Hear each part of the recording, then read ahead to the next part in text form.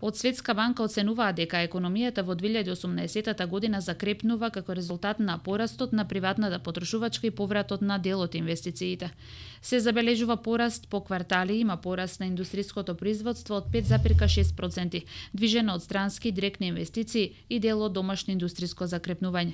Градежништвото има негативен пораст во првата половина од 2018 година, движено од запирање на градбата на дел од автопатиштата.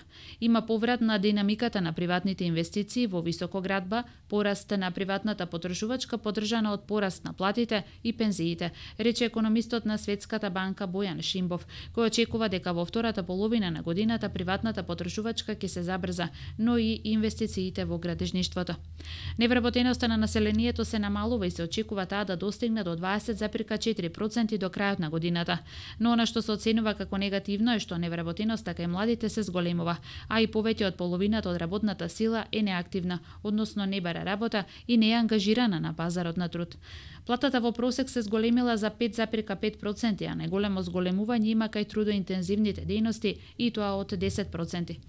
Фискалниот дефицит има намалување се должи на зголемување на приходите и намалување на расходите заради недоволното извршување на капиталните инвестиции во 2018 година.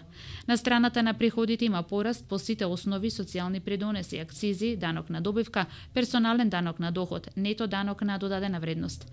Повратот на ДДВ е со забрзано темпо. Се чистат за останатите обврски на државата кон компаниите што е добро заради нивната ликвидност, објасни Шимбов.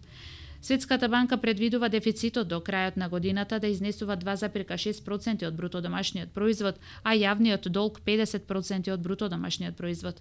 Странските директни инвестиции се очекуваат да се зголемат од 2,2% лани на 3% година. Како позитивни фактори од надворешното обкружување се оценува порастот на економијата во Европската унија, но како ризици се затегнатите финансиски услуги кон земјите во развој, што би подразбирало скапи кредити, стабилност на регионот, ескалација на трговските спорови помеѓу САД и Кина. Од домашните ризици, позитивните перспективи има изгледот на државата за пристап кон НАТО и Европската Унија, кои ќе влијаат на забрзување на структурните реформи, но од друга страна и нивно нарушување поради политичките процеси, како што е изгледот за избори.